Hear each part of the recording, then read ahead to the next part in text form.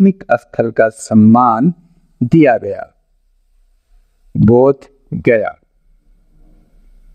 अब राज्य में शिक्षा से संबंधित बातें हैं तो देख लीजिए, केंद्रीय विश्वविद्यालयों की संख्या चार, अंतर्राष्ट्रीय विश्वविद्यालय की संख्या एक, नालंदा विश्वविद्यालय। इसकी स्थापना किसने की या कमेंट बॉक्स में ज़रूर लिखेंगे। और जितनी भी वीडियो है डिस्क्रिप्शन में, करीब तीस से पैंतीस वीडियो ऐसे की है, उसको आप कम से कम दस से पंद्रह बीस बार प्रैक्टिस कर दे, एक क्वेश्चन को भी नहीं छोड़ना है।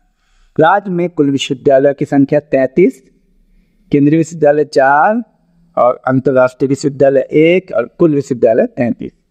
ओपन यूनिवर्सिटी है एक, नालंदा। निजी विश्वविद्यालय चार, महाविद्यालय की संख्या आठ सौ उनासी। राजकीय सार्वजनिक विश्वविद्यालय की संख्या, राजकीय सार्वजनिक विश्वविद्यालय सत्रह, रिसर्च संस्थान की संख्या पंद्रह, पॉलिटेक्निक कॉलेज की संख्या चौवन, इंजीनियरिंग कॉलेज की संख्या छत्तीस। राजनीतिक परिचय।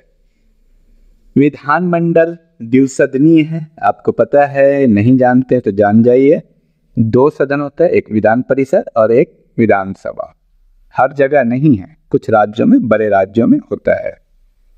अब थोड़ा कलर चेंज कर लें। चलिए। तो विधानसभा सदस्यों की संख्या 243 ये सब याद कर लीजिएगा, क्योंकि ये क्वेश्चन खूब आता है पीसीएस में। विधान परिषद सदस्यों की संख्या पचहत्तर। सभा में दो सौ तैतालीस, और परिषद में पचहत्तर। लोकसभा सदस्यों की संख्या चालीस, राज्यसभा सदस्यों की संख्या सोलह। अब ये बहुत महत्वपूर्ण है। लोकसभा में अनुसूचित जाति की आरक्षित सीटें छ विधानसभा में अनुसूचित जाति की आरक्षित सीटें अड़तीस। विधानसभा में अनुसूचित जनजाति के लिए आरक्षित सीटें दो। ये याद होना चाहिए आपको। नेक्स्ट प्रशासनिक परिदृश्य। राज्य का उच्च न्यायालय कहाँ है? पटना, जिसकी स्थापना तीन फरवरी 1916 इसी क्रम में आप हमें यह बताएँगे कि पटना विश्वविद्यालय की स्थापना कब हुई?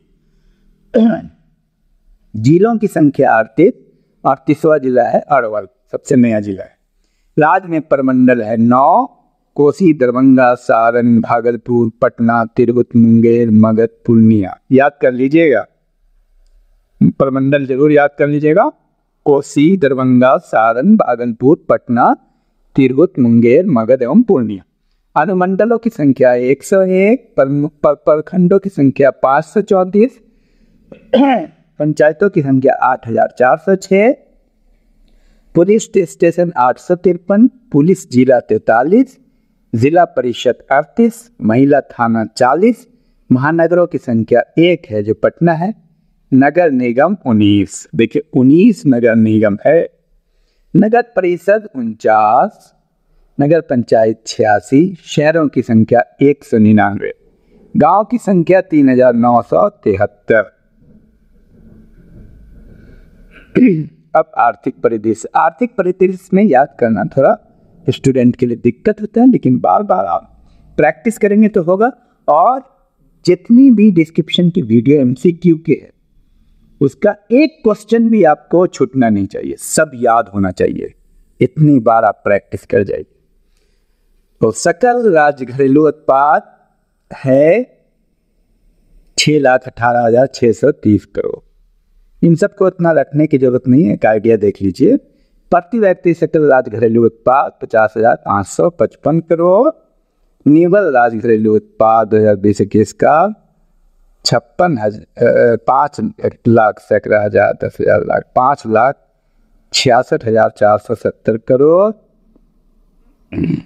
प्रति व्यक्ति निवल राज घरेलू उत्पाद छियालीस हज़ार दो सौ बावन, दो सौ बानवे करोड़।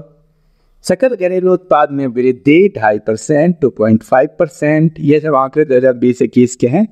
बिहार सरकार की कुल प्राप्ति एक लाख चौंसठ हज़ार नौ सौ तीन बिहार सरकार का कुल व्यय देखिए, एक लाख पैंसठ हज़ार छः सौ छियानवे। मतलब ये है प्राप्ति, एक लाख चौसठ हज़ार नौ सौ तीन और व्यय है एक पैंसठ छः सौ छियानवे। कुल राजस्व प्राप्ति, एक लाख अट्ठाईस हज़ार एक सौ अड़सठ। और कुल पूंजीगत प्राप्ति, दो तरह की प्राप्ति है। एक छत्तीस हज़ार सात सौ पैंतीस करोड़। कुल राजस्व व्यय, एक लाख उनचालीस हज़ार चार सौ तिरानवे करोड़।